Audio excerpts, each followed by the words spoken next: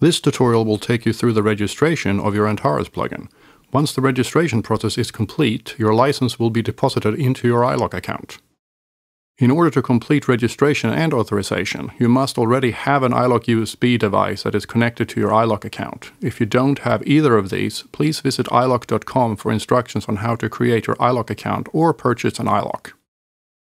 If you purchased your Antares plugin from a dealer, you'll receive a registration code via email or printed on your receipt.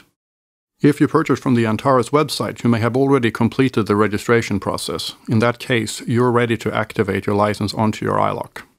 However, if you've not completed the registration, I'll show you how to do that now. Once you have your registration code, please go to the Antares website and click on the Register link at the top of the page. There's also a link to this page in your confirmation email. Paste your registration code here. Type your iLok ID here. Your iLok ID is the name of your iLok account. Fill out the rest of the page. If you'd like to stay up to date on the latest Antares news, please check one or more of these boxes.